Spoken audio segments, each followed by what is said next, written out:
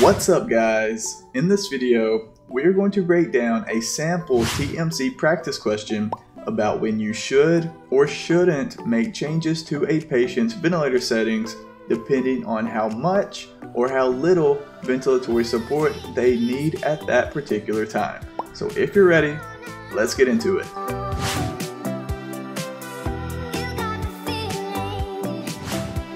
A 176 pound male patient is intubated and receiving volume controlled assist controlled ventilation with a set rate of 12, a set tidal volume of 550 milliliters, and a set FiO2 of 40%.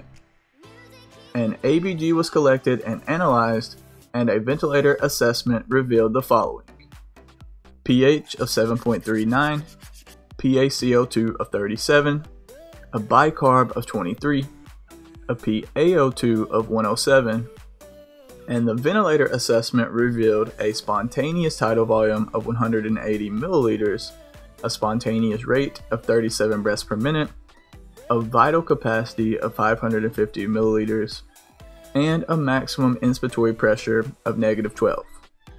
Which of the following would you recommend? A. Place the patient on a 40% T-piece and monitor closely. B. Switch the patient to SIMV at a rate of 5 breaths per minute. C. Place the patient on CPAP and monitor closely. Or D. Maintain the current ventilator settings and reevaluate later. Do you know the answer?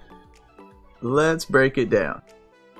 To get this one right, you needed to be able to interpret the patient's ABG results and make the appropriate changes to the ventilator settings if necessary. Again, these are the types of questions in this format that you'll likely see a few of on the TMC exam. So the first thing you should look at is the ABG results.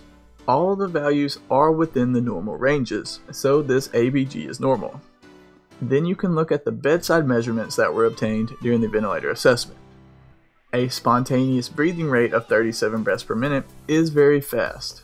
A spontaneous tidal volume of 180 milliliters is very low and the vital capacity and MIP are decreased as well. All of these findings basically indicate that this patient is not ready for a spontaneous breathing trial and should not yet be attempted to wean from the ventilator. So in this case, it's best to maintain the current settings and reevaluate the patient at a later time. All of the answer choices that were provided, except for one, demonstrate some type of weaning. So that is something to remember.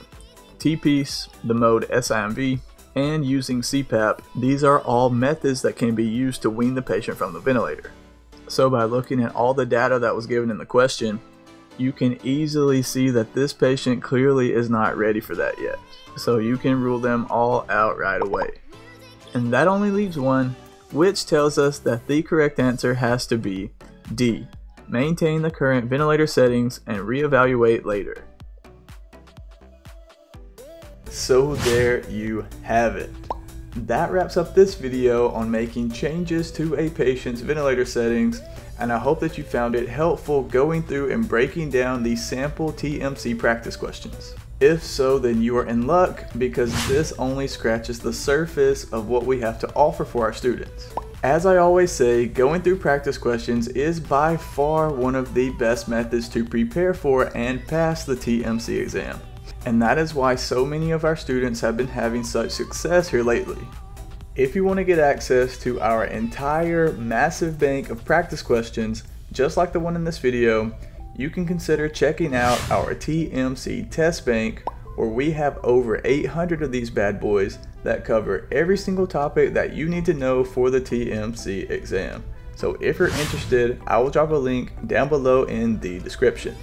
And also, if you'd like to get our practice questions delivered straight to your inbox on a daily basis, you can consider signing up for our Practice Questions Pro membership, where the members get a brand new practice questions straight to their inbox every day, and these little tidbits of knowledge over time add up to massive results. It costs less than one of those fancy cups of coffee that all the kids are drinking these days, so if you're interested, I will drop a link to that as well down below in the description.